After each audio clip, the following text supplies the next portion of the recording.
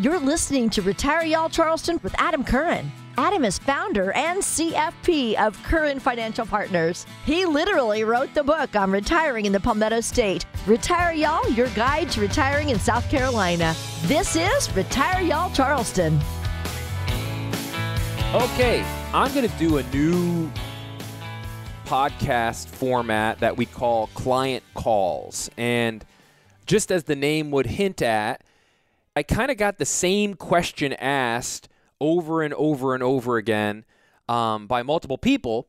And I said, what better content for me to discuss on the podcast than these these questions that some of you probably had, but you just never voiced them to us or never dropped us an email.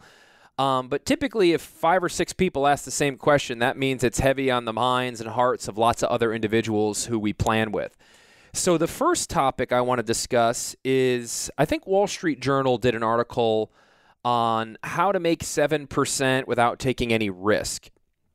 And what they were hinting at was I bonds or Treasury inflation protected securities, and which which are pretty darn similar in their construct. Um, I bonds you need to buy directly through uh, the Treasury Direct, the the website in which that the government has set up for people to buy bonds and and these aren't your grandma's bonds. Remember back in the day, grandma would pay give you a ten dollar uh, Treasury bond with your birthday card. Um, I guess they're kind of like your grandma's bonds, but now you own them digitally. And I bonds in particular, what we're going to go into, pay interest based on inflation. And as you've witnessed over the last couple years. We've had some what I would call not transitory inflation, real inflation starting to take root, and the numbers started to uh, really demonstrate themselves uh, at the end of 2021. So, I bonds must be bought through the government via Treasury Direct. They only let you buy $10,000 per year. If you're married, husband and wife, you can each buy 10,000, so you can put $20,000. So if you have a substantial portfolio and you're trying to diversify and buy I bonds, you're somewhat limited as to how much money you can put in these. So most financial planners, most people who manage money, uh, are using Treasury inflation protected securities instead or TIPS. Now, uh, just like when you buy individual bonds or you buy a bond fund or an ETF, it's it's generally advantageous to buy individual bonds, and the reason being is because you have a set maturity date. So you know with absolute certainty at a certain point in time you are going to get your initial deposit uh, back, so long as the government doesn't default on debt, which is a highly, highly unlikely probability. I would say it's a 0% probability, but if you've been following the news the last decade, uh, all of a sudden, like, you know, rating agencies are no longer giving the U.S. debt AAA ratings. Um, so, so it's very highly unlikely, and truthfully, if the government ever were to default on their debt, uh, we would be in for a world of hurt. So, I don't even like to uh, pessimistically pontificate on the government defaulting on its debt, and it's really the gold standard for stability.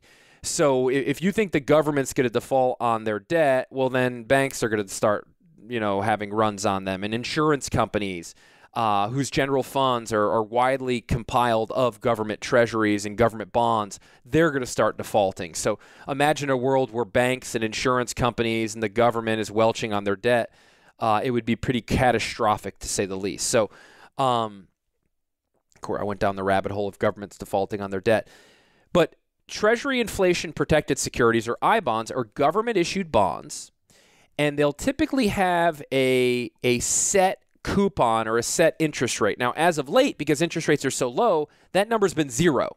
So literally, you make nothing on this bond. However, they'll pay you an interest based on what happened with the consumer price index or CPI. Okay. So, as you've witnessed, all of you Social Security recipients, you've gotten COLA adjustments.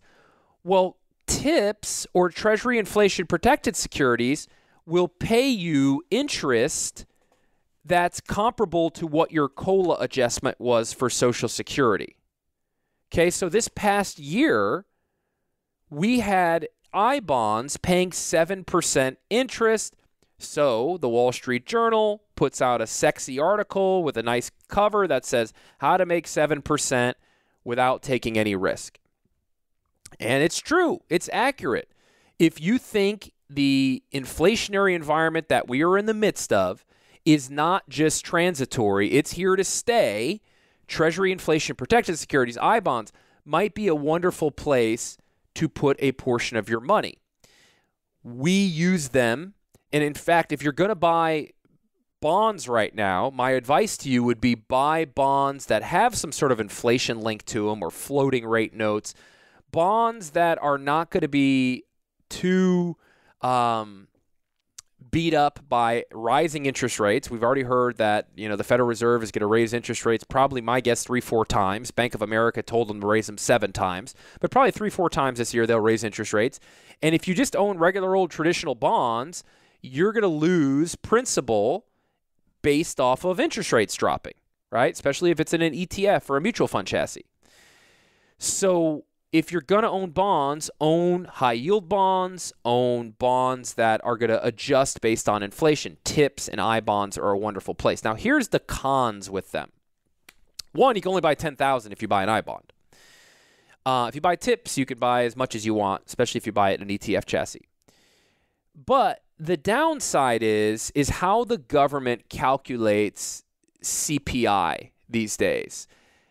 Back in the early 80s, if we use the same calculation for calculating inflation today that we used back in the early 80s, the inflation rate in 2021 would have been more to the tune of like 15 or 16 percent. Right? The government came out and said it's like five or six. That's because the CPI equation has been messed with. Right? It's now called chained urban linked CPI. Chained meaning if beef gets expensive, well, you'll just eat chicken. And if wheat gets expensive, well, you won't eat wheat, you'll use grain. Urban meaning we all ride bikes to work like we're in Holland, and none of us have automobiles, none of us have to fuel those automobiles. Um, where truthfully, a lot of the inflation has has occurred. If you look at the price of gasoline, you look at the price of vehicles. Um, there's semiconductor, microchip manufacturer shortages, so the cars are, are more expensive than they've ever been before. So all of that stuff has been booted out. And then if any component of CPI kind of grows a wild hair and, and, and jumps up in price, well, they'll just link it to something else. In short, what they're doing is manipulating what real inflation is. They're manipulating it because if they allowed inflation to take root the way it did in the late 70s and early 80s, the Social Security Trust Fund would be against the ropes even more than it already is. If you actually have taken some time, they used to send you a Social Security statement in the mail every year on your birthday. They stopped doing that. Um, they stopped doing that about I don't know seven years ago as part of their cost cutting initiatives. So it's a program that between you and your employer you've put in 12% of your pay into the program and they saw fit to stop sending you a statement letting you know how that's coming along uh, as part of their cost cutting initiatives it's a real slap in the face if you ask me but if you actually read those little green statements you can still get them on ssa.gov if you actually read those green statements um, it says bold front and cover the Social Security Trust Fund is against the ropes, and by the year, I forget what it is, 2040 or something like that, it's going to be exhausted. Well, can you imagine how much quicker that fund would be exhausted, or how much more against the ropes that fund would be exhausted if all Social Security recipients received a 15% cost of living adjustment this past year? So call me a tin hat wearing, bunker dwelling conspiracy theorist, but one of the things I don't like about tips and I bonds and why I wouldn't bet the farm on them is because this past year was quite an anomaly with the level of inflation. Like we've had a higher year of inflation than we've had in the last 40 years in 2021. And I think it it the government and the treasury and all of the bean counters of of um, our our federal government and um, they don't want to see CPI reflective of real inflation because it would lend itself to the Social Security Trust Fund getting exhausted. Uh, heck, it would just make them look bad. And, you know, if there's anything we can count on our politicians to do is do whatever it takes to get reelected and look good in front of a camera. Um, so, so there's like, you got to look at it from an incentivization structure. Unfortunately, I don't think all of these uh, Federal Reserve and and, and sec- uh, uh, Treasury economists uh, are truly there to properly gauge economic indicators. I think that there's a, there's an incentivization structure there for them to um, make it look as though they're doing a better job than when they are. Call me a pessimist, but that's what I believe. Um, and when they started fiddling with CPI, bond, I bonds and tips became way less attractive to me. We still utilize them within our portfolios. If you're working with our firm, uh, and you reach out to our office because you read that Wall Street Journal article, like many of you did, I immediately fixed your eye on the fact that you owned tens of thousands of dollars or hundreds of thousands of dollars in some cases of tips uh, and why we believed in them. Um, but we like I bonds, we like tips. Uh, just go into them eyes wide open, knowing that 2021 was quite an anomaly. I don't think you're going to be making 7% on tips in a systematic way year after year after year. Might you have a couple years where you get a good pop like you did this past year? Sure. Um, but truthfully, when you're investing in a tip, my target rate of return with something like that is is more think more to the tune of two, three, four percent. And if you can make two, three, four percent with principal protection, that might garner um, some attention for a portion of your portfolio if you want to have some safety mechanisms built in there that'll help smooth out the ride. That's how we use them, at least. But we were pleasantly surprised that all of our clients who own tips had a real good year in 2021. Now, people who own stocks had a real good year as well. Um, but people who own tips certainly owned a heck, uh, made a, a, a significantly better rate of return than people who just owned regular old traditional bonds that were yielding 2% or something like that. All right. So that's the the the client conversation I've been having about tips and I bonds. I also had a, a handful of people who've hired us this year um, with substantial holdings in municipal bonds. So I've been having lots of conversations about muni bonds. And um, here's my take on muni bonds 20, 30 years ago, it would been sacrilege to warn people of municipal bond default. Like muni bonds were on the same plane as government debt, even though they don't have the ability to print money, which is a important comp- component of muni bonds, right? If the government starts to default, they'll just print money or they'll borrow it from the treasury, you know, cook their books so they're able to to satisfy their debt obligations. Municipalities don't have the ability to do that. So, but nonetheless, people looked at municipal bonds as an absolute pillar of stability, a safe haven. Well, over the course of the last decade, we've now seen multiple municipalities default on their debt. I think Hershey, Pennsylvania, Scranton, Pennsylvania, Sacramento, California. There's a bunch of places in Illinois that were, were, were defaulting, I believe. There's been multiple municipalities that have welched on their debt. So we need to acknowledge the fact that municip- municipalities are not as safe as they once were. The CARES Act during COVID, right, in April of, of 2020, there was a number of municipalities that were already against the ropes. In fact, if you looked at their credit worthiness or their credit ratings, they were starting to tinker around junk territory, meaning they were like triple B below um, from a ratings agency. As much as you trust the rating agencies, they've been wrong time and time again, decade after decade. But you know, we, we got to put some level of faith in them. I hope. Um, so some municipalities were starting to have really, really low credit ratings. And the yield you were fetching on these muni bonds was still like two, three, four percent. Now, granted, the attractive thing about muni bonds is they are they are triple tax free, right? So you don't pay state tax, you don't pay municipal tax, you don't pay federal tax. So if you look, if you're in a 25% tax bracket, and you got a bond yielding 4%, the taxable equivalent yield on that is 5%, right? Because you, uh, if it was a normal bond, 25% of it would pay tax on it, but this in this case you don't pay that. So basic math here for all the accountants that are watching this. Um, so, so in my opinion, in order to make three, four percent, not in my opinion, factually, you were generally doing business with a municipality that was against the ropes. So we were warning people steer clear of these municipal bonds that still yet have pretty high ratings because you're not being rewarded properly for the risk that you're taking. Because the ratings, in my opinion, weren't in line with the level of risk that you're actually taking. A lot of these municipalities were against the ropes think these municipalities where a lot of people uh, were fleeing, right?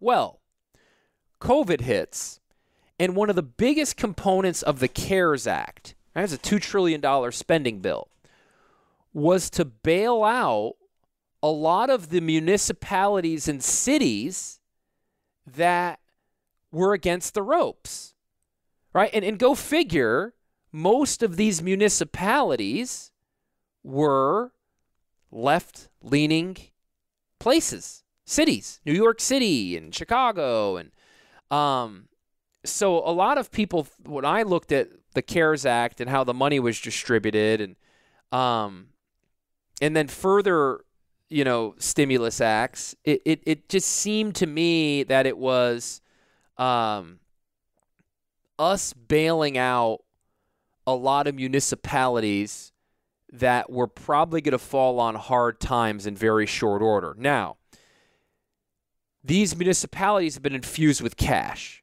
So if you're a day trader, I would buy muni bonds feeling pretty good because they've been infused with cash. They've got a little war chest of, of liquidity. So they're probably not going to default on the short term. Now, think of what's been happening demographically in a lot of those municipalities that were against the ropes, New York and Chicago.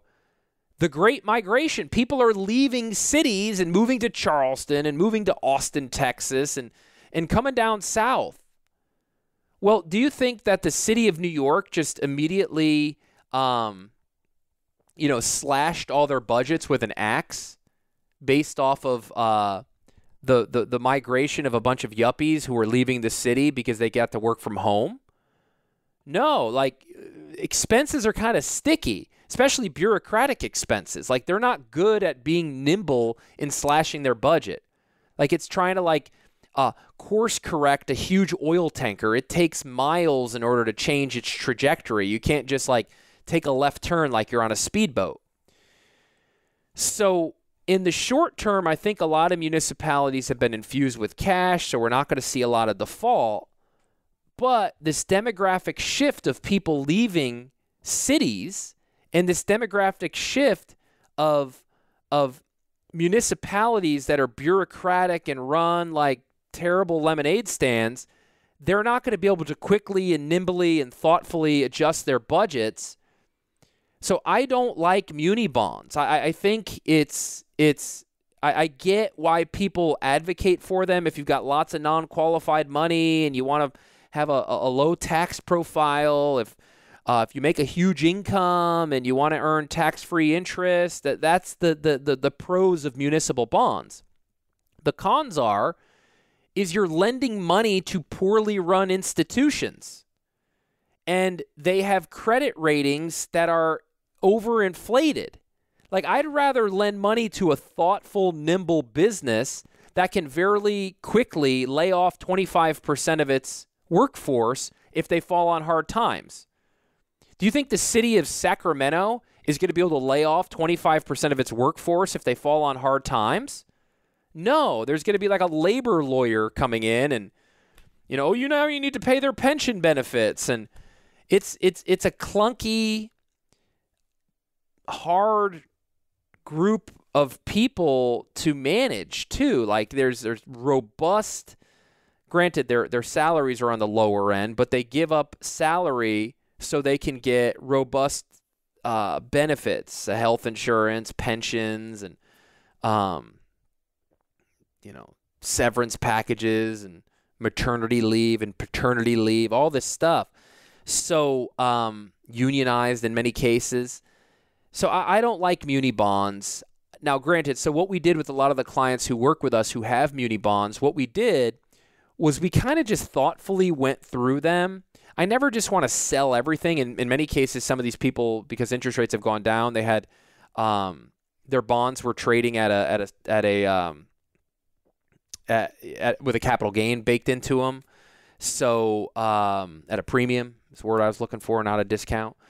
Uh, so if we sold them, they'd have a bunch of capital gains taxes they had to pay. So we just kind of thoughtfully went through the muni bonds. We looked at the ones that were yielding right. We looked at the bonds that had very short maturities. So bonds that were going to mature in the next four or five years. I'm not worried about default because of what happened during the CARES Act.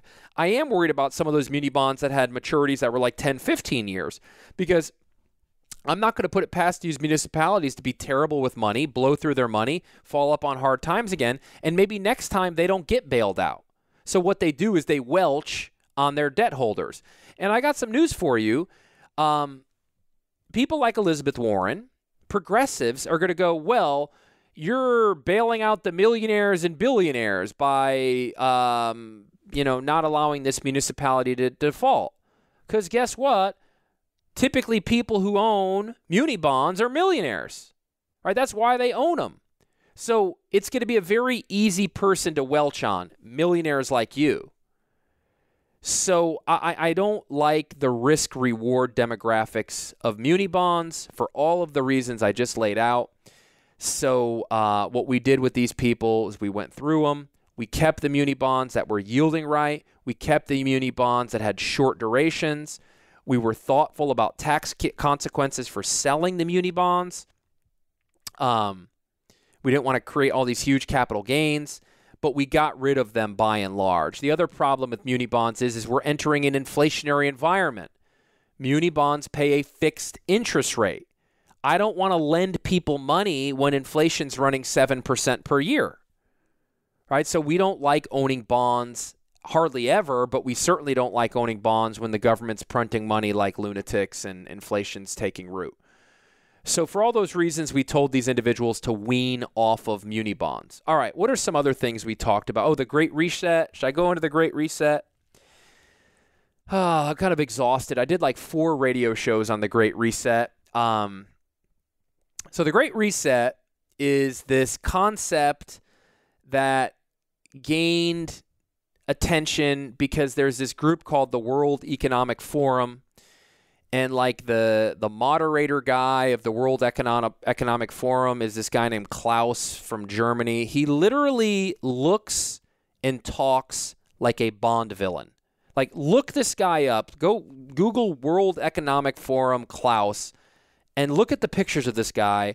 He is taken right out of a Bond movie and he's the evil guy. And he talks evil and they talk about this concept of the Great Reset, kind of like Rahm Emanuel, never let a good tragedy go to uh, waste. Like they're trying to use COVID as a way of changing capitalism for the benefit of humanity.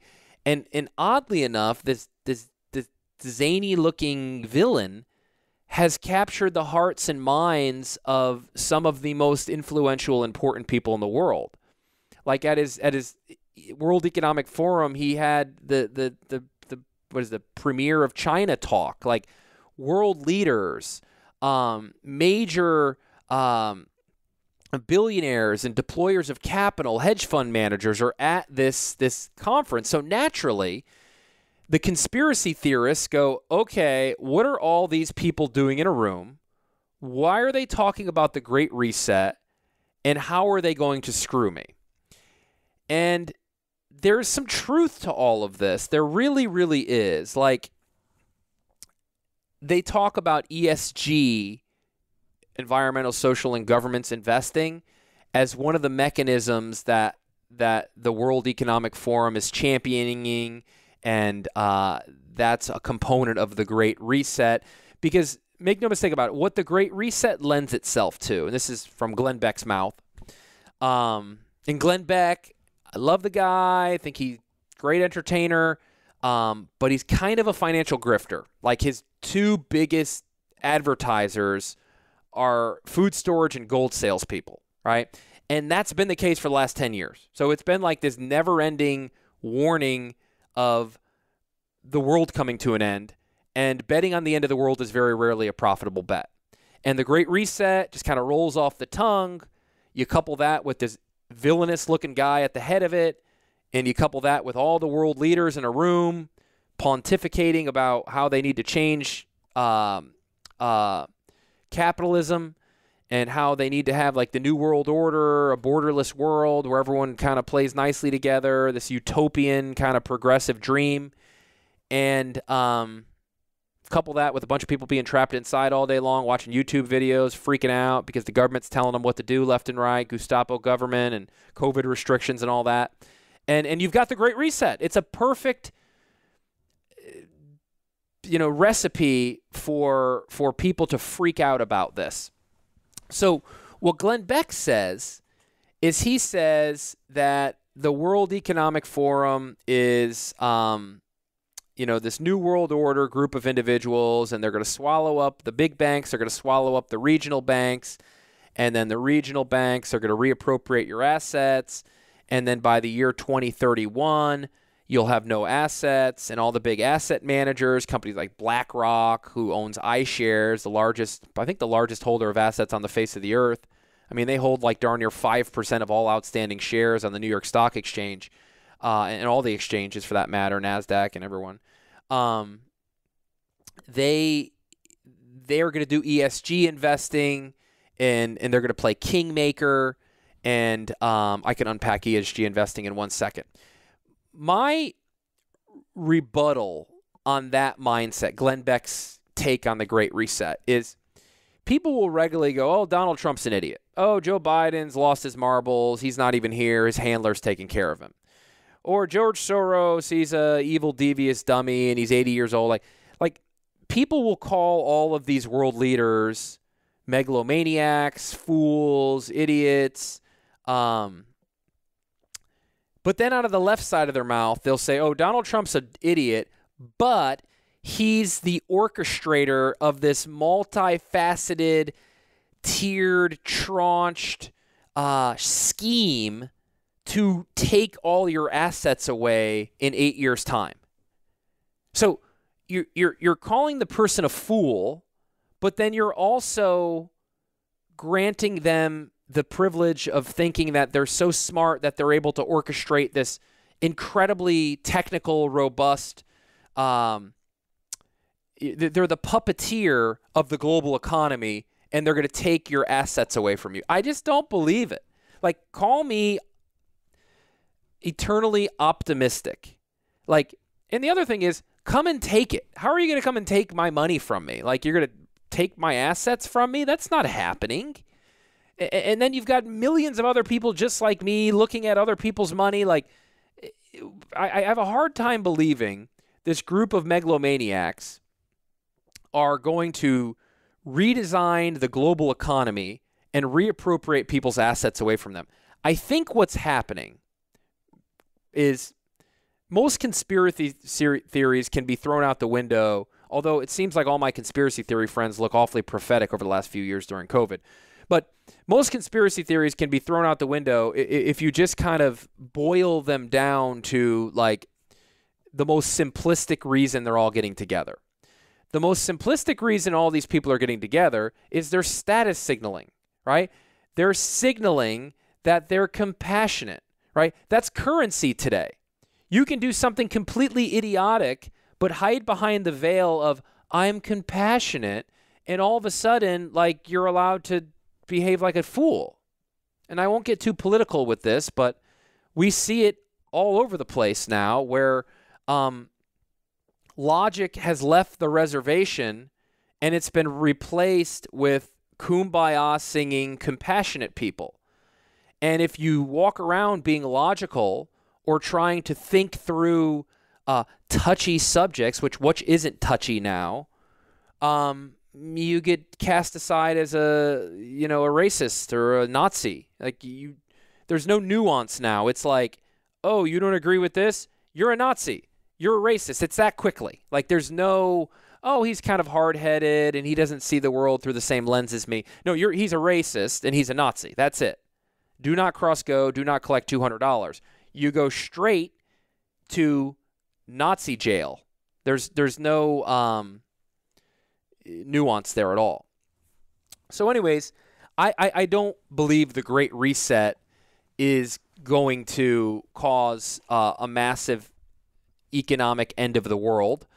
Uh, I think it's just sexy to talk about. I think it's uh, getting listeners on Glenn Beck's show. Um, now, ESG, environmental, social, and governance investing. This is something I've been warning about for like two years. And now it's getting its time in the light again because Glenn Beck's talking about it. And, and, Glenn Beck is just the litmus for numerous other um, conservative talk radio people. Okay. So, um, ESG investing is is a in its most pure form. I'm gonna I'm gonna kind of pretend I'm a liberal who likes ESG investing for a little bit. It's a way in which companies can be scored on their environmental principles and their carbon footprint and governmentally do they play nice with their government? Are they doing business with warlords in africa? Um, socially uh, do they offer good benefit packages and are they kind to their employees and give men three month paternity leave? Um, like are they good guys are they good neighbors in our humanity in, in our society are they polluters are they, um, you know, crony capitalists who are doing all kinds of stuff behind the scenes with government? I don't even know how you're supposed to. There's laws that dictate that, but apparently the ESG gods have their own laws. And if you ask me, that's the problem with ESG investing right there. Who are these kingmakers assigning the scores, right? Because when I look at the scores, Coca Cola has a comparable score to Tesla, right? So here's Coca Cola a company that makes a brown sugary drink that causes cancer, and then all those cans and bottles and little plastic uh, rungs to make six packs that sea turtles are eating uh, litter our world.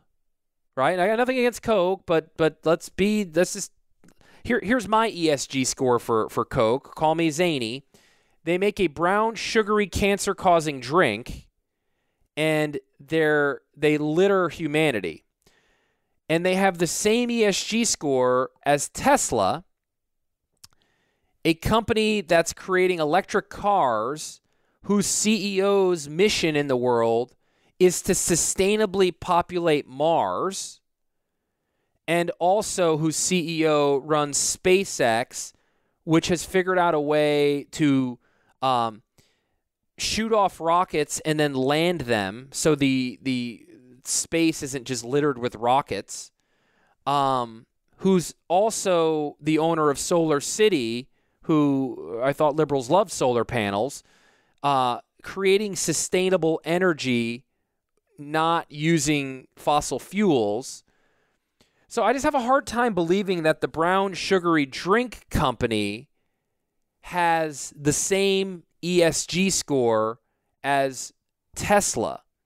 Now, you go, well, why would that be? Well, one reason if you follow Elon Musk on Twitter or you followed what he's been doing over the last few years, uh, he moved his plant out of California because he was tired of being told he needed to shut down during COVID. This guy has an audacious goal of populating Mars, and he cannot suffer Gavin Newsom um, shutting down his plant foolishly for months and months and months on end. So he said, I'm operating, right? We're, we're taking all the necessary precautions. We're being careful. We're, we're going to take these measures. We can't just shut down my goal. You're going to close my company down. All of these people are going to lose their job. So, of course, he's since moved a lot of his operations to Austin. I think he still has some operations in California, but um, I know he's moving out of California, and a lot of liberals didn't like that, right? They thought he was a murderer and he was, uh, you know, running a, Uh, as Elizabeth Warren says, you know, he was um, a hanger on of the federal government. He didn't pay his fair share in taxes, even though in 2020 was I think it was 2021 he's going to wind up paying 11 billion dollars in taxes, the largest tax bill any American has ever paid ever. And oh by the way, he's not American, he's South African, so he's an immigrant that we want to keep more of them here. So an immigrant is paying the largest tax bill in the history of America, and Elizabeth Warren has came out and said if you think he should pay his fair share and he's a scumbucket, uh, give my campaign fifty dollars. All right, here's an immigrant paying eleven billion dollars in taxes. We should all golf clap that. But no, we don't want to do that. We want to vilify him because he's a billionaire. Oh, by the way, he's a billionaire that's trying to populate Mars. Like, he's trying to populate Mars. Bureaucrats, get out of the guy's darn way and let him go about populating Mars because you're going to need that guy when a big asteroid comes out of left field and it, you know, is at a path to destroy the Earth. That's his whole deal. Like he believes humans should be interplanetary species. That way, if something happens on Earth, the popu- you know, our, our, our, our species will continue to last and procreate because we'll be able to live on Mars for a little bit crazy thought to think. Now, why does Coca Cola have such a good ESG score? Well, remember about two years ago, Coca Cola felt the need to do a seminar for their employees on how to be less white. Right? Literally, we're going to gather, and I, I, always think about this. I go, okay, so there was a meeting, and Coca Cola is a massive company, right? So there's got to be smart people there. And they had a meeting where they all sat around a table and someone said, "Okay, uh, Tom, any good ideas that we should do to improve our culture?" And Tom goes, "Yeah, um, been thinking, everyone. What if we did a presentation on how to be less white?" And then a bunch of other people were like, "Good idea, Tom. Run with that one. That's a good idea." Um, that won't be at all controversial. And I agree with you. I think our white employees need to be less white. So, of course, they did the How to Be Less White presentation, and that got like, you know, someone whistle blew that. And you can look this up. You can literally Google Coca Cola How to Be Less White seminar, and you can watch this. Um, and hopefully, it'll train you to be less white. And go figure, Coca Cola gets a little improvement in their ESG score for, for the how to be less white. Here's the problem with ESG who the heck are these kingmakers assigning scores? Because it seems to me that the companies have the best ESG score are woke good boys. Like they're beating to the sound of the liberal progressive drummers. So naturally, as a God fearing, flag waving conservative, I get a little bit triggered by that. I get fearful when the liberals are assigning scores to companies that are behaving wokely. And and go figure now, Wall Street, what Wall Street is doing, guys like Larry Fink with iShares and BlackRock, uh, Elizabeth Warren has also been outspoken about 401ks needing to have a higher ESG component in the stocks that you're able to invest in. Um, Wall Street is trying to, well, Wall, Wall Street, you know, it's it's a marketing machine. Wall Street's selling people ESG stocks and charging more on them because there are a large group of individuals who who don't see the world through the same lens as me, and they just think that ESG is a, uh, they're more trusting of governmental agencies, right? Um, maybe I'm spreading misinformation here, but there is a large segment of humanity that believe that Dr. Anthony Fauci has done a marvelous job of disseminating science throughout the pandemic. Right? There's like probably 100 million people in this country who think Dr. Anthony Fauci belongs on Mount Rushmore. Um, count me out. I'm not one of those people. I think he's been wrong an awful lot. And, um, anyways, there are people who think ESG gods are actually doing right by humanity by assigning these scores. Here's what I'm worried about. If if 401ks, which when you look at public wealth, are the largest chassis for public wealth, right? That that's where most people's money sits in 401ks. If 401ks had a a rule that you were only able to invest in companies that had high ESG scores, then you've got this board of ESG um, bureaucrats who go, okay, that person gets a good score, that person gets a bad score. They're kingmakers. They literally dictate which companies get the capital from 401k investment.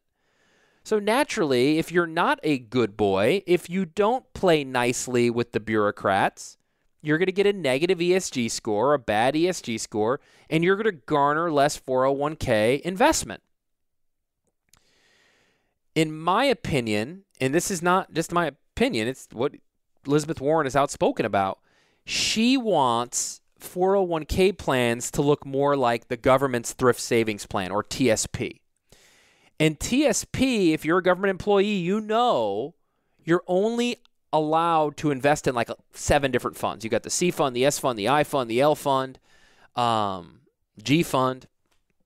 So you have very limited investment options. Now, the the good thing about TSP is the funds are very inexpensive. Like your expense ratios are 0.03 percent, and that used to be like, oh, they're they're cheap. Well, that ship is kind of sailed because you could get 0.03 percent expense ratios through Fidelity and Vanguard and Schwab and all these different custodians. Uh, heck, Fidelity's got a bunch of index funds that charge you nothing. There's zero expense ratio. So TSP can no longer say that you know they, they do this because they're cheap because you can get these funds everywhere. Um, but that's what they say. They go, "Oh, we give you seven funds, but we're really cheap, and we don't want to give people lots of investments because if we give people lots of options, they'll do something stupid." And here are these case studies of these these people who had lots of options and they invested foolishly and they lost all their money. Like they're always legislating to the dumbest person in the room. Here again, call me a tin hat wearing conservative, but my fear is if you only have seven mutual funds that you can invest in, and go figure those mutual fund managers are an arm's length away from the ESG gods and they're an arm's length away from Washington, you are giving a tremendous amount of power to Washington to play kingmaker. So if you're on Washington's bad guy list, you could make one phone call to your ESG um, buddies and go, hey, um, you know, XYZ company over there is um, funding my uh, my c- competitor in the upcoming midterms. Or XYZ company over there is getting out of line and saying some stuff that I don't like. Any way in heck you can change their ESG score for me? Can we manufacture a crisis? Can we say that they're killing the yellow bellied owl in Idaho? Or how about this? Hey, let me call up my TSP guys. You're the manager of the uh, large cap stock fund. And remember, we want to put an ESG component on that large stock, large cap stock fund. Uh, this company over here, um, by the looks of it, is not doing a very good job with their environmental and their governance score. So, uh, can we kind of um, drop them down and consider taking them out of the large cap stock fund. Call me a conspiracy theorist, but like they're outspokenly saying this now. I think it's one of the most devious, malicious power grabs happening on the face of the earth. Like everyone's worried about wearing masks and stuff. All the while in the dark of night, the government's trying to take control of the investments that you have access to in your 401k and in your thrift savings plan. So the ESG component of the Great Reset is very real. It's very scary. It's been happening for years and years and years.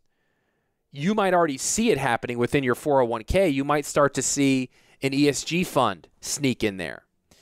You might start to get letters from your 401k provider that say, We're going to uh, change your mutual fund lineup, or we're going to remove some of the funds within your lineup. That's why what I believe, if the the costs are right based off of your age, um, if you have the opportunity to roll your 401k to an IRA, obviously weigh all the pros and cons because there could be advantages of keeping money in the 401k. But many times I like rolling it to an IRA because it opens up the landscape of the investments that you have at your disposal and you don't have to play by the rules of your 401k provider or TSP, the government, uh, the seven mutual funds. Um, but that's my take on the Great Reset. Lastly, the last thing I'm going to cover. Um, we had one of the worst Januaries in the stock market in the last 20 years. There's always a bull market. And one of the conversations I've been having with a lot of people is Warren Buffett's got a great quote. He basically says you only need to make, you know, two or three good investments per year. And if you look back at the last few years, you look back at like the year 2020, uh, right after COVID, the airlines, the hotels, the restaurants, the regional banks, oil and gas, all that stuff dropped like 40, 50, 60%. And had you made put some money in those investments at their bottom, you would have received a tremendous rate of return that year.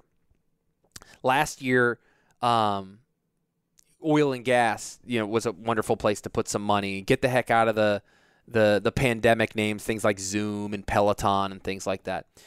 This year, the way we've started the year off, a lot of those growth innovative names, like I think of Cathie Woods, who runs ARK Innovative, ticker ARKK. Um, this was Wall Street's darling in 2020 and in 2021. Like it, it, actually, 2021 wasn't a very good year, but it was Wall Street's darling for several years. She was outperforming the S&P 500. Well, she has taken it on the chin year to date. Like her ARK fund is down like 40%. So, a lot of people look at what she holds in ARK, Teladoc, Tesla, Spotify, um, disruptive technology, you know, Coinbase, Robinhood. Uh, so, crypto, uh, AI, um, 5G, um, you know, just things that are, you know, if you watch an episode of Star Trek, you'd go, you know, these are the companies that are creating the technology that that that will look like one day. So Cathie Wood's ARK fund is down darn near 40, 50%, depending on which minute you look at it. That tells me it's 40 to 50% safer than what it was at the end of 2021. Now, granted, it is in innovative, technological, risky names, but now those names are 50% safer. So even though you're investing in riskier investments, a lot of the risk has been cooked or baked out of them. So, in my opinion, if you've got dry powder, now this is not, don't shift your entire portfolio into this, but if you've got dry powder, if you want to capitalize on what happened in January, I would look to those names. Look to the semiconductors. Look at a name like NVIDIA. NVIDIA was down like 20, 30%. It's since popped up a little bit as I record this, but it's still on sale if you ask me. Look at Cathie Woods' ARK fund. I mean, it's down 40%. That might be a, a, place where you shift some of your bonds, shift some of your cash, uh, and try to make a little bit of money in the heart of a, a crash in certain sectors.